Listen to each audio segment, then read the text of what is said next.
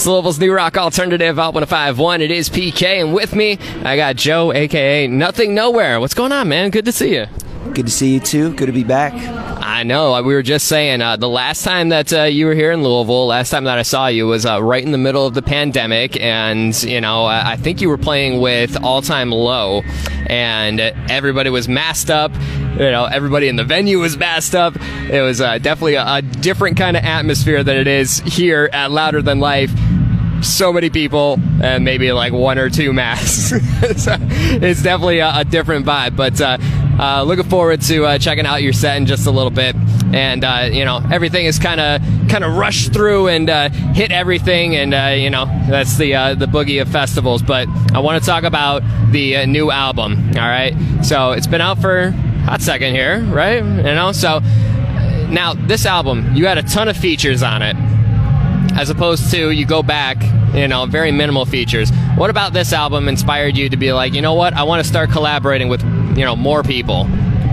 Um, honestly, I just since it was a heavier album and sort of alternative, uh, I grew up in that space listening to all these bands and uh, honestly it was kind of selfishly i just wanted to make a record with all of my idols and people that i that i look up to and uh, you know thankfully like i'm in a position where I could kind of hit them up and they'd be like, yeah, sure, I'll hop on it, you know? So it, yeah. it was really organic. Yeah, for sure. And like that was kind of the thing that you know I was I was looking at the list and everything, and it's like, yeah, I mean, it, it makes sense that you know you would be able to to kind of connect with these artists, you know, kind of growing up and everything. But you know, when you when you do have those relationships and you start collaborating together, how does that impact you know your overall mindset when you're you know either writing or you know producing whatever whatever it is that you're working on? How does that collaboration really kind of change your you know uh, your direction of what you're doing.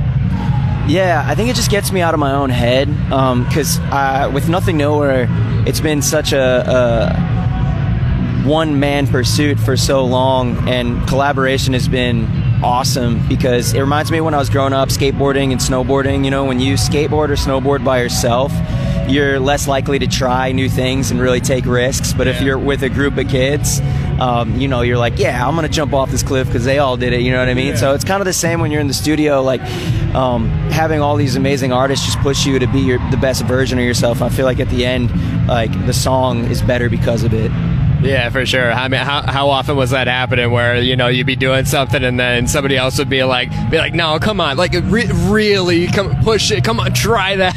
Yeah. Or, you know, you have someone like, like, Will Ramos, who's amazing at screaming, or uh, yeah. you know Freddie Dredd, who's an amazing rapper, and you're like, okay, I got to step it up, you know? yeah for sure. I mean, I, there is that element of like you know it uh, it kind of brings out the uh, the best of you in all of those different aspects. But uh, I mean, it's really cool to see. I mean, the entire list of uh, of different artists that are on there between you know working with Silverstein, like you said, with Will Ramos. I mean, Underoath is there, Pete Wentz. I mean, like it, it's so many like different sounds that all kind of come together, and you know that's really kind of in your wheelhouse of what you do. I mean, you tend to not really be defined by a particular sound. So like how do you how do you kind of approach things from that mentality where it's like, you know, do you do you have in mind like okay, well, this one is a little more hip hop, this one's a little more rock, this one's, you know, heavier or lighter, like how does that, you know, how does that thought process kind of impact the entire album making process for you? Yeah, I've, I've, been thinking about this a lot more lately. Um, when I started Nothing Nowhere, you know, kind of full time in 2015, I had this ethos of like, I'm not going to be chained down by genres. I'm not going to be restricted by, you know, what I think it should sound like.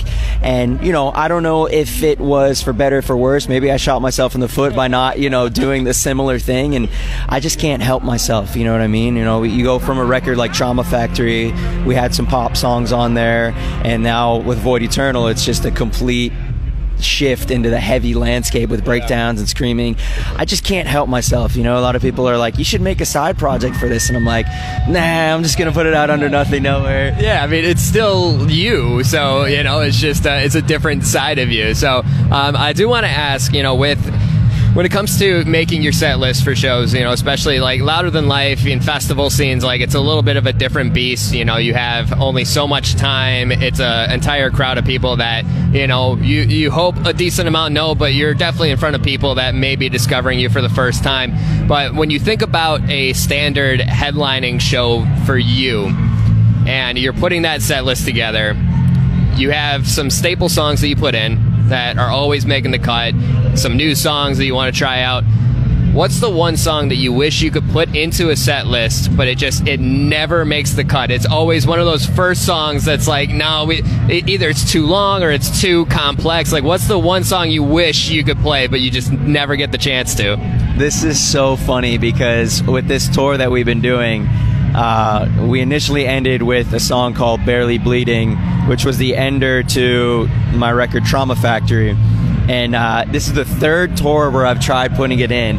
But for some reason, I don't know why I did it to myself, but the chorus is so unbelievably high that being in the studio and being on tour is different. You know what I mean? I can't do it for 40 nights in a row. And this is this tour. I'm just like, we're going to do it this time. We're going to do it. Two shows in, we're like, nah, we can't do it. but, you know, maybe next time we'll try it and we'll drop it down a couple keys and be like, yeah, this is it, you know?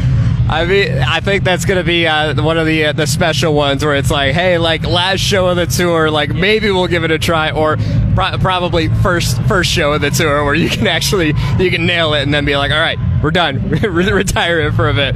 But uh, I, dude, I appreciate you taking the time. I'm looking forward to everything here at Louder Than Life. Uh, it's great to have you back in Louisville, and you know, hopefully we'll have you back again very very soon. Looking forward to uh, everything that's coming up for you. But uh, always a pleasure.